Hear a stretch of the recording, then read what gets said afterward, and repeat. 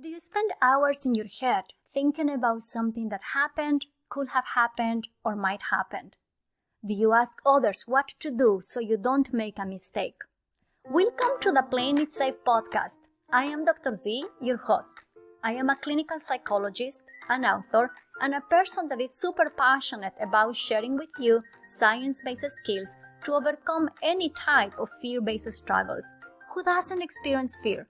Who doesn't play it safe? In this show, we will discuss how fear based reactions happen in day to day life, how playing it safe behaviors look like, sound like, and feel like, how you can put into action solid tips from behavioral science to get unstuck from worries, fears, obsessions, and anxieties, and how you can start doing what works, what matters, and what you care about. Behavioral science doesn't have to be boring. Thanks for listening, and let's get started. Hi, everybody. Welcome back to the Playing It Safe podcast. I hope you had a good week and I hope you are ready for this episode. Today, I am sharing with you the second part of my conversation with Dr. Steve Hayes. Steve is one of the co founders of Acceptance and Commitment Therapy. If you have been reading my books or you have been listening to the podcast, you know that I breathe and I live acceptance and commitment therapy skills. In this conversation, I had a chance to talk to Steve about his experience as a behavioral scientist, how he became a psychologist, how he lives behavioral science in his day to day life. And believe it or not, I had a chance to ask him how he keeps his ego in check. Now, think about it. If you are not familiar with Dr. Hayes' work, he's one of those people that has published over 200, 300 journal articles, has published many books, and he really has done everything he can to contribute to behavioral science. So, for any person, given all the accomplishments that he has, how do they keep themselves on check? This is a special conversation because I think at the end it's a conversation about humility and how Steve keeps himself humble and how he thinks that behavioral science invites us to be humble in every single thing we do, but especially when we are looking at our belief systems.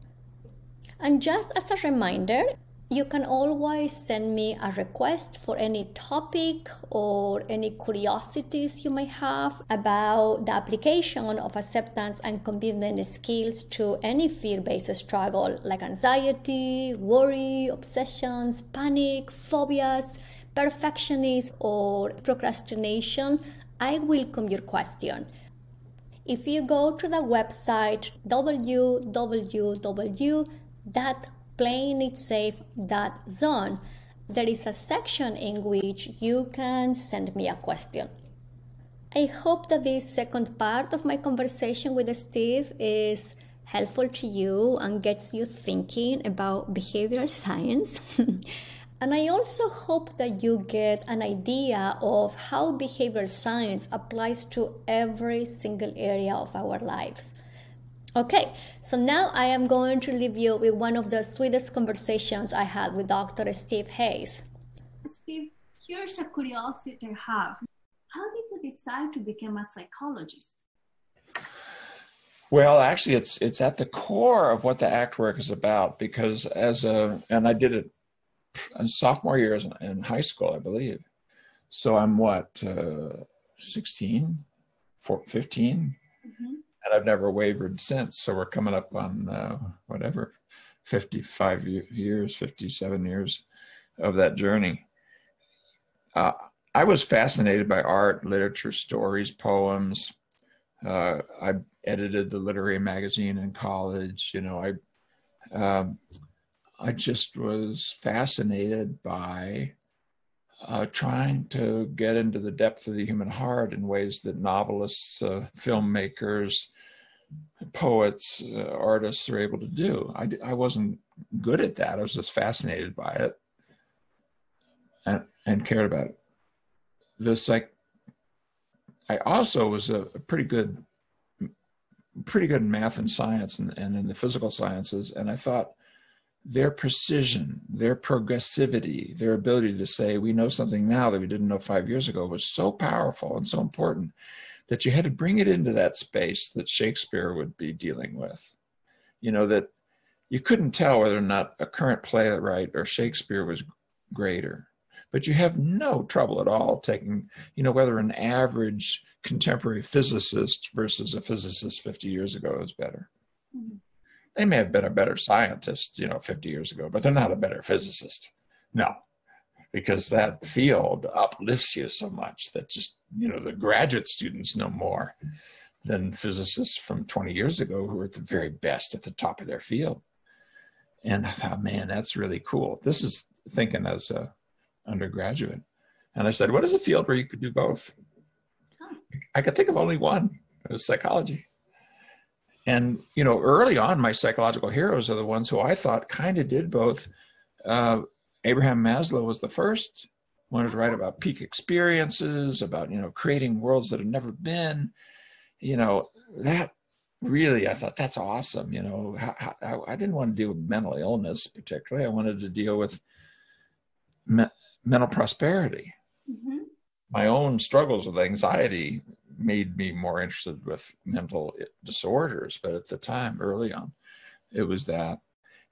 And then I became a Skinnerian because I read Walden Two.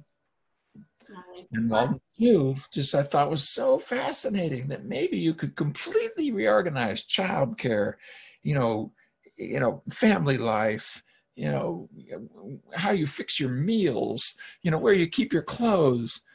Maybe you could do all of that inside principles that were as tight as we knew how to create in behavioral science that came right out of the animal learning lab from rats to Walden 2. So you're looking at a, a crazy hippie guy who thought bottom up tight science might give us a way forward with the highest level aspirations of my generation and of me as a person interested in human prosperity and uh, you know the positive uh, peak experiences that all, we only get occasionally. Mm-hmm, mm-hmm. And Steve, in that process, did you have any mentors?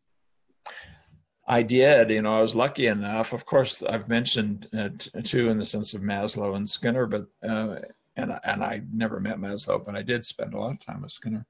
Mm-hmm. Um, oh yes, oh yes, many conversations. Gosh, I'm that old. I'm that old. In fact, all of the behavior therapy heroes, you know, Joe Wolpe and all of those people, and the behavior analysis heroes, Don Baer, Mont Wolf, Todd Risley, all of those folks, many, many, many hours spent. ask you a little bit. So, how was hanging out with Skinner? I think when we think about Skinner, we think about this very uptight guy, a behaviorist, but he was a very revolutionary guy for his time. oh my goodness! You know, he was he was uh, such an iconoclast, such you know, very creative, very interesting person. Uh, you know, I knew him only as an old man, of course. Mm-hmm. Uh, and I could feel he, when he would talk to you, sometimes he would say, just like I did, these long rants, you get old, you do it more. And, and some of them I would recognize were whole pages out of his book. You know, they would sometimes you would click into a zone where it's almost word for word. I knew what he was going to say because I already read it and memorized it. I was a real Skinner scholar. I, I, I read almost everything he ever wrote and uh, internalized it. And, you know, thought, boy, that's just so awesome, but uh, it's also more to be learned. Mm-hmm. It's exciting. The people of that era, that first generation, not just Fred, that's what people called him, was not Burrhus, not just Fred, but Fred Keller. Oh my God, what a sweet man! His his uh, fellow graduate student, and then really wrote the first book on behavior analysis. Keller and Schoenfeld. Well, Nat Schoenfeld, who was my mentor's mentor's mentor's mentor. Oh, um, uh, so I can trace myself back through that uh, uh in the two ways that I I trace my lineage, um, and on and on. You know, these early folks. When you think about behaviorists, you think, "Oh man, they're so tight." Let me give you a couple examples. Ralph Hefferline, a card carrying behavior analyst, a rat running behavior analyst at Columbia, wrote the first Gestalt therapy book with Fritz Perls and Paul Goodman. Ralph Hefferline. Wow. A rat lab guy. Amazing. Could you think of anything farther away? No, Gestalt is right inside this tradition. People look at ACT and say, well, it kind of looks like Gestalt. Well, duh. it's two branches off the same tree. And Ralph wanted to call it integrative therapy mm-hmm. because he thought it integrated this contextualistic, radically functional behavioral strand, which most people doesn't know exists in behaviorism, and this um, a humanistic strand that exists inside Gestalt that, that moved away from analytic because he was an analyst, so was Paul Goodman, a psychoanalyst, but moved more in the humanistic direction. That combination, he, he thought it should be called that. But no, uh, Fritz thought classic Wertheimer was coming back and it should be called Gestalt therapy. Think about how it would be if we thought of Gestalt therapy as this mix as finding a way to square the circle of humanism and behaviorism. Mm-hmm. People don't know that Skinner won the American Humanistic uh, uh, Society Award. Yeah, that's amazing. He was a major humanist and viewed by as by humanists as a humanist in a funny way. You listen to you know, Carl Rogers and B.F. Skinner. There's a deep respect there. This is not a disrespectful conversation. So on and on it goes. The, you know, Don Baer was on the the board. Don Baer, in the early you know, father of behavior analysis, was on the board of uh, EST training. Oh wow, he was an EST person. Wow. Yeah, he was on the board when, when uh, Werner uh, Erhard was still running it before he sold it to Landmark and on and on, on it, it, it goes. You know, the uh, the early early uh, schedules of reinforcement work with uh, uh with Skinner. you know, the the, the co-author of that book was in anal- psychoanalysis for six years every day. you know, so back in the day, behaviorists were interested, this rats and Walden two wing, mm-hmm. of the depth of human experience in every way possible. And yes, they wanted to use tight, basic principles to understand that. You go two or three generations out, there's a wing that became very conservative, you know, and it's really what happens when in religious groups and things like that, where founders are very flexible, they're often mystics. And next thing you know, the followers are having religious wars over dogma. Mm-hmm. Same thing happens in psychology. Yeah, can I ask you a little bit about that? I think that there is still, even in 2020, this bad rap to behavioral therapy. I think people don't realize that the behavioral therapy is actually very humanistic, very sensitive, that it's all about understanding our drivers but you see that there are founders who are flexible and they're expanding. And at some point, there is this shift. We hold yeah. on to our thing as that thing. How does it happen? Historically, we have seen it in religion, yes. in, different, in different types of belief systems. What's yes. your take on that?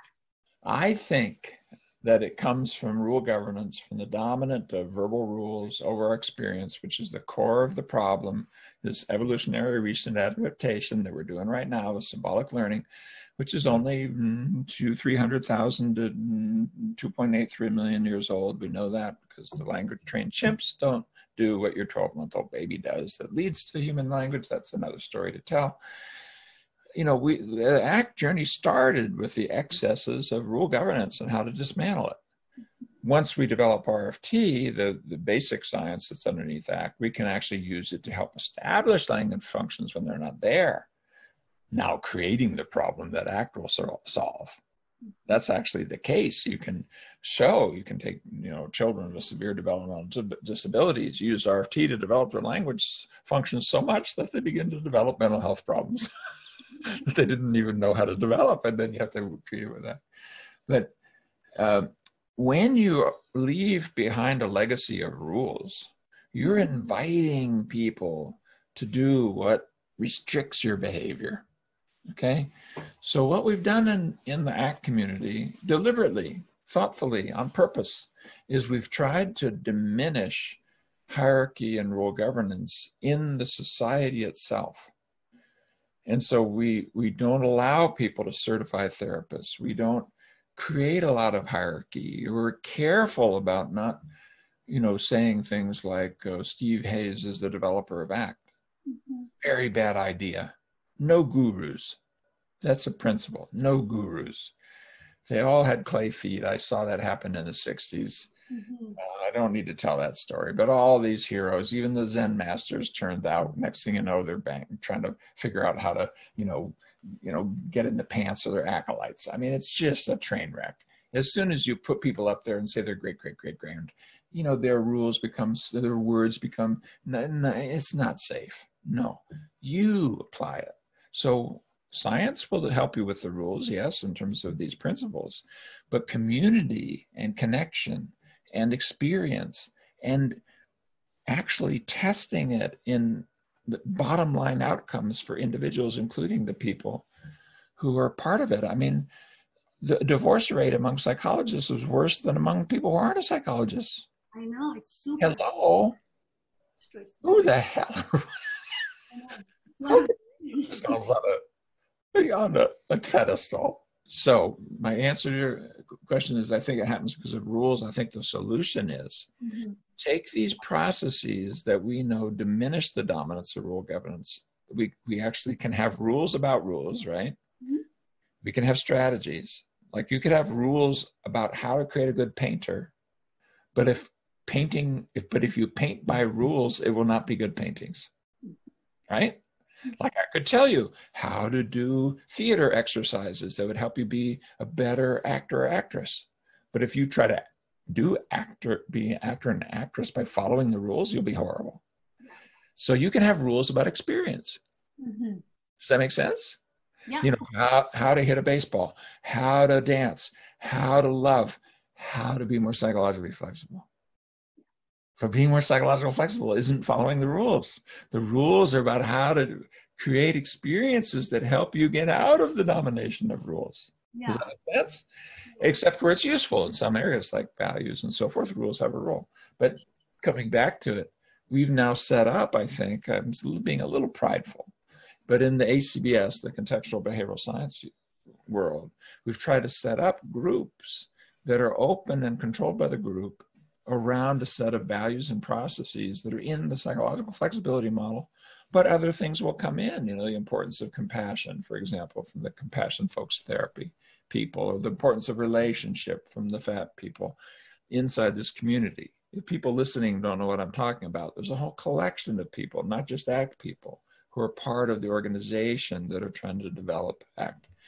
And we we try to do what we say not just uh, say what others should do. We try to apply those principles to create a group process that's open, accepting, non judgmental, values based, focused on community and connection consciously to create you know patterns of doing things running our workshops running our conventions and little things are like follies making fun of our, each other why? Because it reduces hierarchy. Well, why would you do that? Because it reduces the domination of rules and those who are the anointed rule givers. Heck, bring them down, knock knock them off their stool, put them on the same ground as you. So I think we've done some good work at and and most of the science and clinical traditions out there I think, have not been thoughtful enough about this. Mm-hmm. No one. And, and you, you don't need people to be like keepers of the book. No, the book will be changed and rewritten, all those things. So let's, I'm sorry for the long rant again, but it's a really good question. What is coming to me is that we have seen this. At some point, we hold with white knuckles to those rules. And I love your response let's step back and let's create rules about the experience because it really creates a counter movement. And certainly within the contextual behavioral science world, you see it. There is yeah. no hierarchies. Now, if I can extrapolate that to the current time that we're living, and I don't mean to put you on the spot, but one of the things that has been very aggravating to me is this polarization of messages between good and bad suddenly if you're a scientist, that's a bad thing because that means you're against religion. And once again, We're living this polarized time in which we're holding on to rules, what's good, yes. what's bad. So how can we relate and apply what you just said? How would that look like in regard to this polarized world, polarized time that we're living? I think it could be. I think we could do a lot if we're careful. If it isn't sort of like, oh, you know, everybody ought to be following ACT principles or something in, in a crude way. Um, part of the core of the ACT business, it starts with this philosophy of science that is aontological, that, that takes language to be a tool that helps us accomplish goals, and that doesn't then say when you're able to accomplish your goals is the reason it did is that it's really true with capital T letters. No, we evolved to survive inside the one world but we can't even trust our, our, own perception. You know, we may be living in something more like the Matrix. Mm-hmm.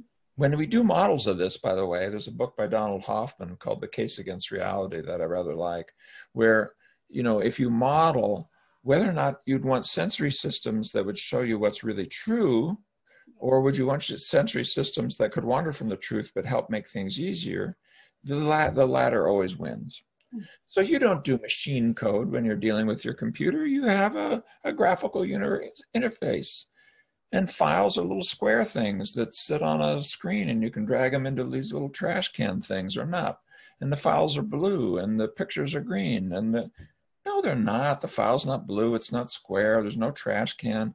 That's but but that helps you do the use the computer. Well, in the mm-hmm. same way, when we break up our experience, when we talk, when we experience, when we do, etc., we're just breaking up the one world to get things done, and that's great. Now, with an average person, I'm not going to go into these principles, but I do a little bit in liberated mind because it helps us then hold lightly. You know, hold these principles lightly.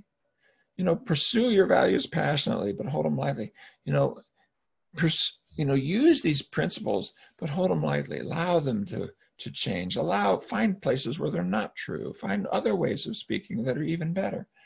And when you do that, if you come come back to the kind of social part of it, you take something like uh, the fact that now around the world, the world is becoming so interconnected. COVID really shows it, doesn't it? You can't be disconnected from the world.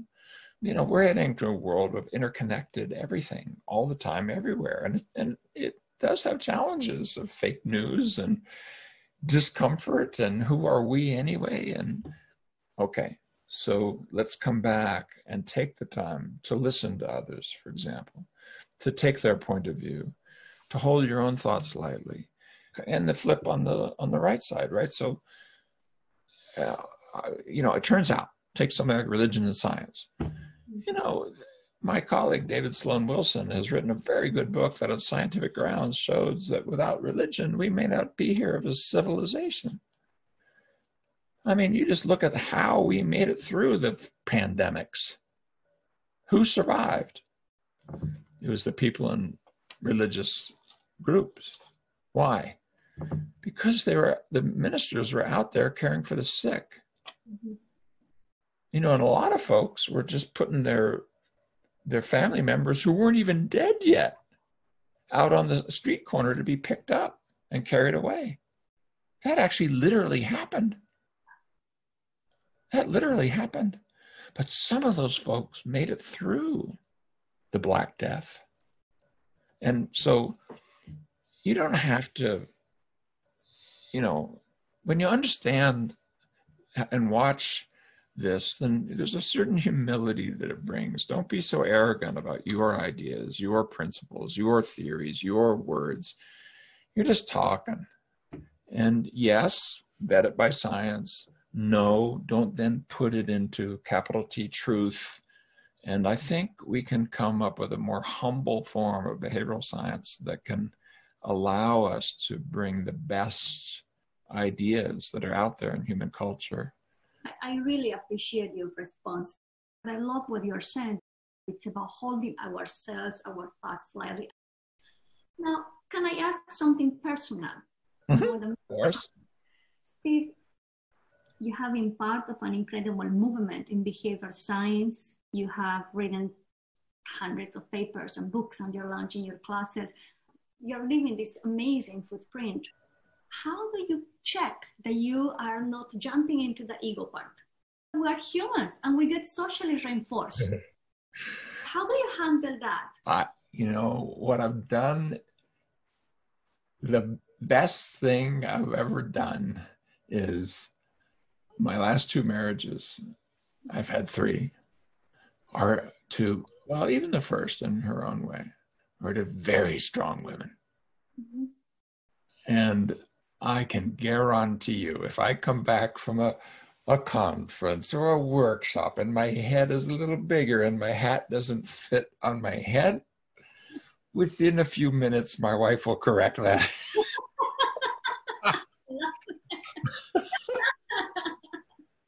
really, it's literally true. And I, I went, oh, what a sweet person she is. She's so kind to me. She's kind to me in ways that you would look at and say, well, that's not very kind. No, it is kind because it is not good for me to climb inside some clown suit of achievement and pretense and all of that. It's just not good for me and it's not good for my work and it's not good for others. And I came here to do something. I came here to do something about human suffering. So you know, I know it's actually a problem. I, I, see it more with my pontificating and holding forth. You even see it on this. Some of it's just the forgivable thing, what happens to old people. But um, uh, yeah, it's it's a practice. It's a uh, mindfulness practice, and I've been. It isn't really my wife doing it to me. I mean, it's creating a context in which socially it's not supported by the people I love, by my mm-hmm. children, by my close colleagues. You know, I invite them in. And the one thing that my wife says that I, I do feel proud about, she said it just last night. She said, you know, the one thing that people don't really know about you is that what you see is what you get. Mm-hmm. You know, I'm just trying to be me. And so that when it when I climb inside that clown suit, I have a little bit of a feeling that something's off. Mm-hmm. And I'm supported by my by those who love me to uh, put my feet on the ground and take a breath, show up, and and get back. You know those books. Yeah, I I go to my Google Scholar page and look at my citations. I do, but I also use that to find out how I can support people who are connecting with the work. And so uh, I try to keep the ego in check and to keep the work as the focus. Uh, and, uh, you know, eventually that'll pass away. You know, I'm 72. How many more years I got? But, uh, and I'm not going to leave something behind that well people will remember by my name. That's not what's going to happen. I hope I can leave behind a community or, or an approach that will echo forward and even the name of that community will be forgotten. But the work won't be forgotten because it gets put into the culture. Mm-hmm. I appreciate that you're sharing with us how you find these moments of humility. I think science needs that. For science to be disseminated, we have to continue questioning and we have to be humble. The moment that we call into I have the truth, that's the challenge. That blocks science. That blocks growth, right? I agree. And, and you see the pushback against science in our culture right now, in part because I think there's a whole wing of folks who've been made to feel stupid or be talked down to. There's a real truth in there, but there's an arrogant elite voice in our culture that needs to be softened and needs to be do a lot more listening to you know blue collar workers who have not done a college education, etc. You know, that it's not all about the PhDs and their, you know, uh, their uh, house in Palo Alto. It, it, it's not just about this cutting edge technological world that we're creating. So, yeah, uh, take down science down a peg in terms of its arrogance, but then lift it up a peg in terms of its possible contribution to human well being. Because we're running out of time, here's a very silly question. Of course, I could be asking you so many questions. I love the conversation. Thank you for the opportunity. You've created a really nice context. Steve, if you were to have a cup of coffee today with any person you want, who will that person be and why? You know, I've thought about that uh, before. I would I would like to talk to Charles Darwin a bit about uh, you know evolutionary theory and the potential uh, that it has for human well-being. I would like to understand a bit more about how he saw things. And I would like to share with him some ideas and see what he thinks about it. I'd like to have a conversation, a genuine conversation uh, with, with Charles Darwin, who I think it has not yet landed in human culture. Mm-hmm. It's landed in the life sciences. Nothing in biology makes sense without evolutionary theory, but it hasn't landed yet in cultural evolution. It hasn't landed in the individual indiv- evolution of human lives. It hasn't landed in the evolution of successful businesses and churches and and it has says so much about how who we are and how we can be in a way that creates progress. We can evolve on purpose. I really believe we can. I believe the story of evolution is the story of the evolution of consciousness and purpose, and that that combination of consciousness and purpose uh, is something that we can best harness by using the queen theory of the life sciences, which is evolutionary theory. So I'd, I'd kind of like to talk to a really, really important person. He wasn't the only one. There were others who had very similar ideas, but he, he's a pretty important one. It'd be, it would be great to be able to have that conversation. I would love for you to maybe consider that that's your next book, Evolving in Purpose. Steve, thank you so much again. It has been such a pleasure, and I'm super grateful for having shared this moment with you. Thank you.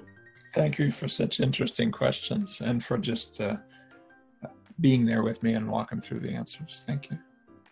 Thanks for listening. If you like this episode, I will very much appreciate it if you will subscribe and share this podcast with your friends. And if you're feeling extra generous, I welcome a review on Apple Podcasts. Show notes of this episode are in the website playingitsafe.zone. Make sure to subscribe to my newsletter so you can receive more tips to stop all types of unworkable playing it safe actions. See you soon!